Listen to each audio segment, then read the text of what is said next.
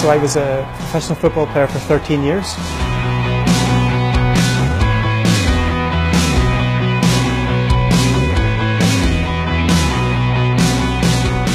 Um, between maybe 1994 right up to the late 2000s for different different teams. First of all for Manchester United, then a team called Norwich City and Cardiff City. So I was very fortunate to have a, a, wonderful career as a, as a footballer, uh, as many young men kind of aspire to. So it was always my dream. Um, and I suppose during the process of living out that dream, maybe later on in my 20s, I kind of started to feel as if you know there was a, a bit of a void there or a, an emptiness in the way I was living my life, maybe the way the football life, uh, the, the lifestyle around the game. I was growing more and more dissatisfied with the way I was living, the kind of my emphasis on like material things, putting all my trust in these things as if they were going to bring me happiness. And, um, and yet I still loved the game. I loved playing every day and I loved uh, playing football. But I kind of grew maybe more dissatisfied with the lifestyle and started to ask some deeper questions. And I was very fortunate I had a family member who was quite devout, my sister and she would phone me or she would send me books on the Catholic faith. And, uh, and for a lot of years I wasn't really interested. And uh, only in my later 20s, when I started to feel that kind of uh, sort of emptiness, I started to pick up these books and read them. And, uh, and I found that there was something very much in them, in the power of the words, that, that, that affected a kind of change in me and a kind of uh, a peace or so forth.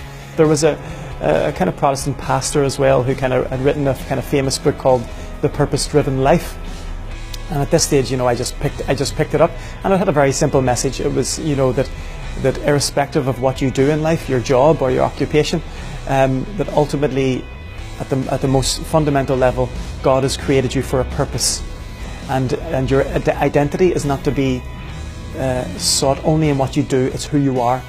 And I very much needed to hear that message because my whole identity was caught up in the fact that I was a footballer.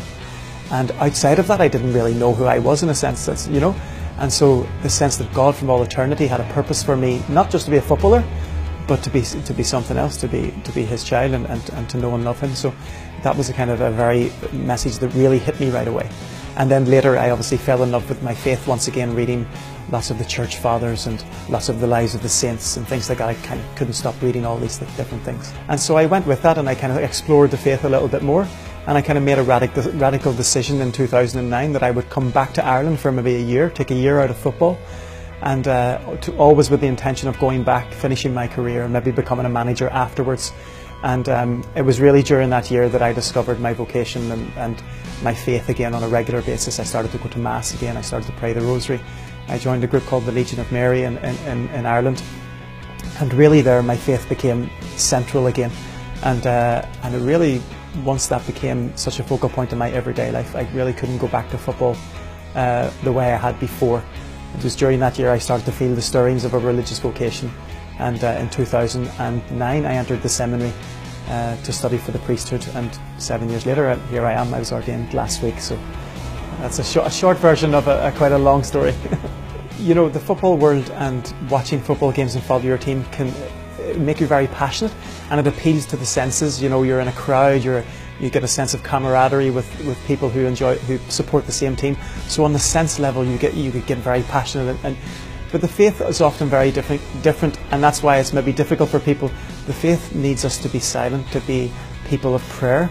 It's not as kind of uh, euphoric as being in a football stadium or watching a game, but yet it speaks to us as a most deep, a deeper level, and brings us a joy and a happiness that it's not just an hour and a half on a Saturday afternoon supporting your team with that high that it can give you, and then often the low because they've lost or whatever, you know, which is uh, which is obviously not good if you're bringing that home to your family life and, and all those different th- kind of things. But you know, soccer's a gift. It's a great gift. It's how we use these things. It's how we order them properly.